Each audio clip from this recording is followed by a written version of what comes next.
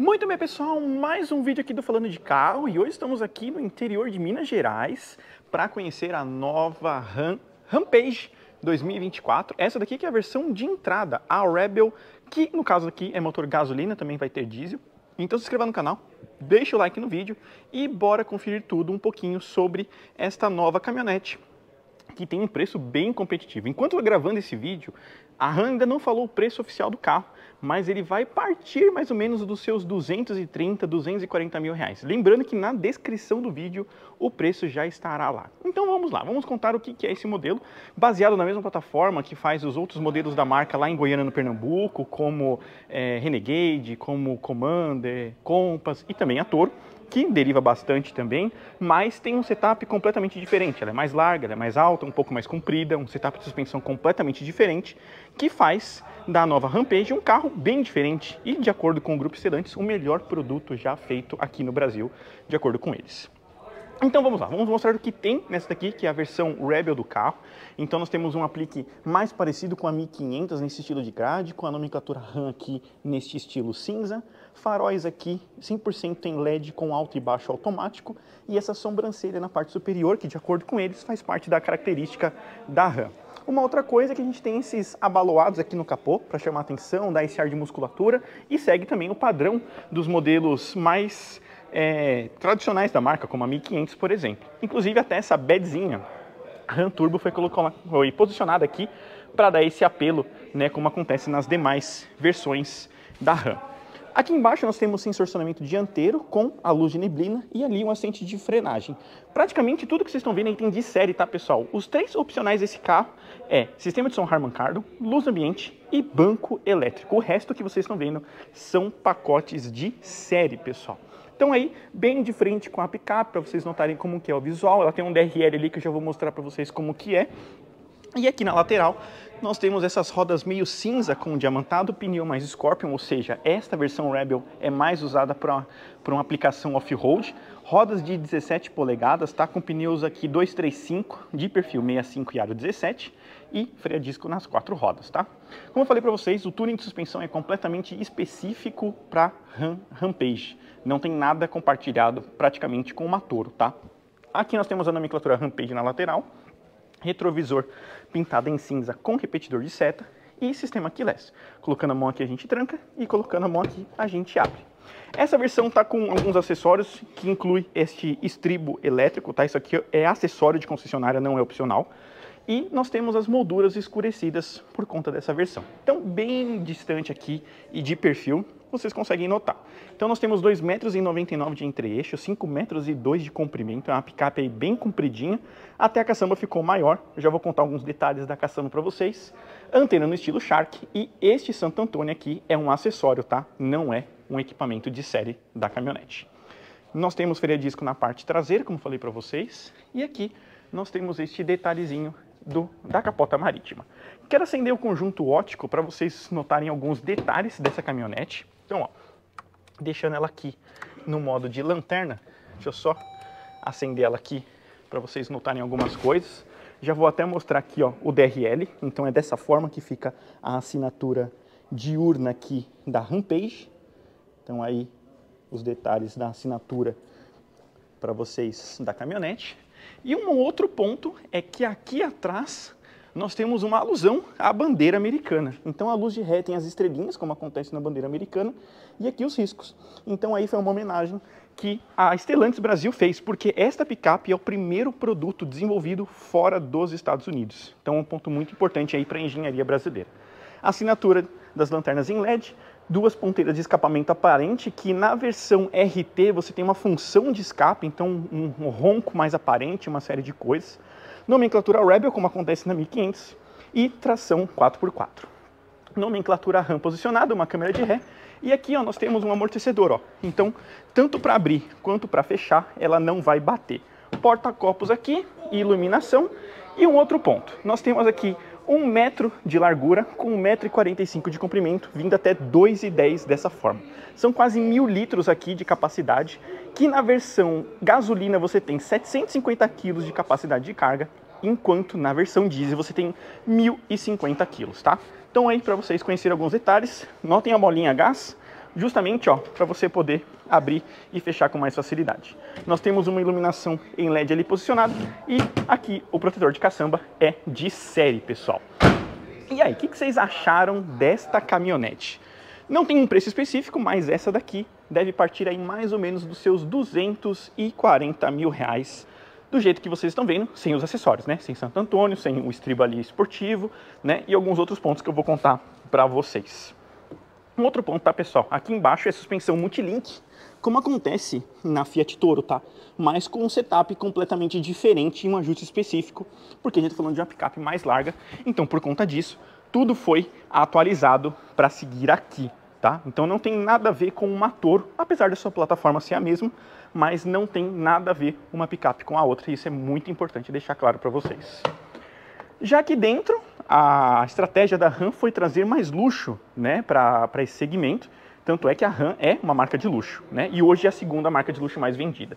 Então nós temos o acabamento aqui, ó, que imita uma costura mais em plástico nessa região. Aqui um acabamento com uma textura diferente. E aqui acabamento em material macio, com couro sintético ou tecido em alusão a couro, mas não é couro de verdade, tá? E um ponto aqui, maçaneta prateadinha, vidros elétricos automáticos em todas as portas. E os bancos, revestidos aí no mesmo tecido, né, com apoio de cabeça, cinto de três pontos para todos os ocupantes, com sete airbags de série e apoio de braço aqui posicionado dessa forma. Então, um forrinho, temos bastante detalhe aqui importante, sistema de som Harman Kardon também posicionado, são quatro tomadas USB atrás, sendo duas tipo C e duas USB, e saídas de ar. Iluminação ali, com teto revestido com tecido preto. E sentando aqui, é um ponto importante que eu quero mostrar para vocês. O espaço interno é na conta. Ela se baseia na torre, então ela não pode crescer muito. Então temos um espaço aqui consideravelmente justo. Mas, ó, em relação ao teto, sobra bastante, tá? Então aqui é um ponto curioso para vocês. E já vou adiantando, não existe teto solar na Rampage. Não tem, de acordo com a própria Stellantis e de acordo com a RAM, os clientes na pesquisa deles não fazem questão do teto solar. E aí, você que está assistindo, acha que quem tem uma RAM ou teria uma RAM não gostaria de um teto solar? Estou falando de um carro premium já, né? De acordo com eles, é uma marca premium. Carro premium tem teto solar. E aí, o que, que vocês acham? Uma rápida passagem pelo console, ali eu quero contar algumas coisas que eu vi de outros modelos do grupo, então posicionar isso para vocês. E uma outra questão, os bancos são específicos para RAM. Não tem nada tirado de outros modelos, tá? Então, nós temos um conjunto de bancos aqui, todos específicos que eu já vou contar. Já aqui na dianteira, o material é macio nessa região, temos um detalhezinho aqui também escovado e aqui a maçaneta. Como eu falei para vocês, ó, aqui lembra um pouco da Fiat Toro, então aqui Jeep, enfim, tudo, né? E nessa região, um sistema de som Harman Kardon. Então, tem algumas outras versões da Jeep, por exemplo, você tem Beats, né? No próprio Commander você tem Harman Kardon e aqui também segue com Harman Kardon porque é uma parceria com a, a RAM há muitos anos. O banco elétrico, como falei para vocês, é um dos opcionais. Então nós temos aqui um airbag nos bancos, uma nomenclatura RAM, então uma estrutura de banco completamente diferente. E o tapetinho ali nesse estilo mais alto para evitar que suja né, a parte inferior. Aqui nós temos acendimento automático dos faróis, temos de altura do facho e aqui luminosidade interna, que essa peça muito lembra um Compass, por exemplo. Aqui nós temos acabamento em material macio, essa saidinha de ar e essa linha de console lembra muito o Commander. Então a gente tem algumas coisas aqui semelhantes nessa arquitetura elétrica do carro. Então aqui ó, nós temos uma linha muito de Commander nessa região. O volante tem uma empunhadura diferente, com esse couro bem mais gostoso. A buzina tem uma questão que parece um couro. E o, a RAM, o símbolo da RAM parece um diamante bem bonito. Nomenclatura RAM na parte inferior, comandos aqui do painel de instrumentos e comandos de piloto automático e ACC pedal shifts, que é nessa versão, e aqui nós temos atrás os comandinhos de troca de áudio e tudo que tem direito. Então eu vou fechar aqui e mostrar algumas coisas que tem nesta aqui, que é a versão Rebel da picape. Então eu vou dar uma distanciada para facilitar aqui a visualização e vou ligar a picape. Então ligando aqui, vamos mostrar algumas coisas. vou deixar alguma luz acesa para melhorar um pouco a visualização. Ele tem ajuste de altura e profundidade. E aqui alguns comandos do câmbio automático. Então aqui nós temos alguns detalhes com câmera de ré posicionada aí. E aqui, freio de mão eletrônico, auto hold e 4x4 low. Esse comandinho aqui lembra muito o Commander, por exemplo. Aqui nós temos o detalhe de dois porta-copos, com este detalhezinho que sai, que nasceu num fastback, por exemplo, também. E aqui a chave da RAM específica, isso eu gostei bastante, uma chave própria com abertura da caçamba, partida remota e alguns detalhes de trancamento. Apoio de braço tem o detalhe da RAM aqui do bote e um baúzinho. Então, um ponto importante. Nós temos um carregador sem fio que aqui atrás nós temos uma saída de ventilação para manter refrigerado, um porta-objetos aqui, esses comandos que lembram um pouco da Toro, são função Sport, controle de assento de faixa, start-stop e sensores. Aqui detalhes também com relação a volume ar-condicionado digital. A central multimídia ela não é verticalizada como acontece em outros modelos da RAM, mas desse jeito porque essa arquitetura elétrica lembra bastante o Commander e o Commander é assim também. Então aí alguns detalhezinhos para vocês conferirem dessa central multimídia que é específica para a RAM, o layout dela. Então aí com GPS nativo também, que é um ponto importante, ele vai carregar aqui.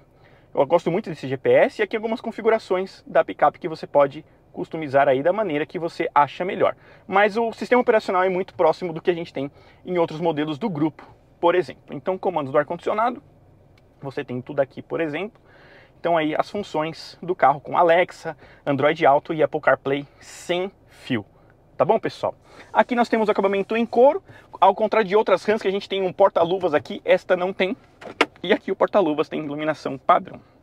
Então aí com amortecedor, ponto muito importante. O material na parte superior é todo em material macio e a posição de dirigir é alta, você sente mais alto com esses detalhes do capô aqui, então você tem uma impressão de altura muito grande. O teto com a forração mais fofinha, com tecido preto. E aqui nós temos um retrovisor fotocrômico, iluminação em LED, meio amarela, mas é luz de LED isso aqui. Quebra-sol, conta aí com esses detalhezinhos, nomenclatura da RAM ali, aqui também, e alças com amortecedor também. Então aí um ponto importante, quero destacar isso para vocês, e aqui o painel de instrumentos. Então, ó, configurações da tela, a gente pode configurar aqui algumas coisas com relação ao painel de instrumentos. Aqui nós temos este tema e este tema, então aí o ponto para vocês. Quando a gente aperta a função Sport, ó, ela troca, então temos uma grafia bem mais bonita também, fica meio itálico ali algumas coisas. Temperaturas ali de óleo, câmbio, economia de combustível, TPMS, tudo que tem direito, consumo aqui também nessa região, detalhes de som e outras informações, certo? Então tá aí para vocês conferirem esses detalhezinhos. Gosto bastante deste novo cluster, muito melhor do que era, por exemplo, é, o do Jeep Compass e Commander, por exemplo, que ganhou aquele detalhe. Ah, pessoal, e aqui na parte inferior nós temos esse detalhezinho, eu estava esquecendo de mostrar, com iluminação ambiente, e aqui nós temos duas tomadinhas tipo C, uma tipo C e uma USB normal. Então aqui nós temos esse detalhezinho da luz, e aqui nós temos a luz também ambiente. Assim, ó, como naquela região. Tá vendo? Os detalhezinhos aí para vocês. Então eu vou deixar aqui os faróis acesos, tá? Luz de caçamba. E vou mostrar para vocês a cerejinha do bolo, que é esta motorização, antes da gente finalizar esse vídeo aqui. Então, mostrando aqui, nós temos um conjunto mecânico... Opa, agora sim. Um conjunto mecânico 2.0 Turbo Hurricane, que é o mesmo conjunto mecânico do Jeep Wrangler, por exemplo, que são 272 cavalos nesse 2.0 turbo, é, com 40.8 kg de torque máximo, câmbio automático de 9 velocidades, lembrando que ele é de tração 4x4 integral, tá? Então aí sempre 4x4. E 0 a 100 mais ou menos aí na casa dos 7 segundos, lembrando que a RT tem um mapa diferente com 6.9 segundos de 0 a 100. Essa daqui deve ser 7.1, 7.2, para vocês terem uma ideia. Então motorização um ponto importante, a gente está falando de uma caminhonete 4x4, então o, é, o, a imersão desse carro é 50 milímetros, com ângulos de 25 graus e 27 graus na saída, tá? Então 25 de ataque, 27 de saída. Conjunto ótico aí para vocês conferirem todos os detalhes deste novo modelo da RAM. Então aqui, conjunto ótico alto e baixo, ó, temos um detalhezinho ali RAM escrito, temos a luz de neblina na parte inferior e a lanterna, como eu falei para vocês, tem essa bandeirinha dos Estados Unidos que eu achei bem interessante. Então aí, a bandeira dos Estados Unidos, que foi uma homenagem que a RAM do Brasil fez aí para este modelo aqui, desenvolvido no Brasil, pessoal. E aí, na faixa dos 240 mil reais, você levaria uma RAM Rampage para sua garagem? Melhor que uma Fiat Toro? Quem tem uma Fiat Toro já está considerando trocar pela nova Rampage? Quero saber de vocês. Em breve, pessoal, a gente vai andar nesses carros e tirar os nossos números, dizer sem frenagem retomada.